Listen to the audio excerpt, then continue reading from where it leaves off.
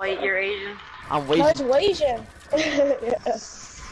Technically, you're not full Asian Technically not full white.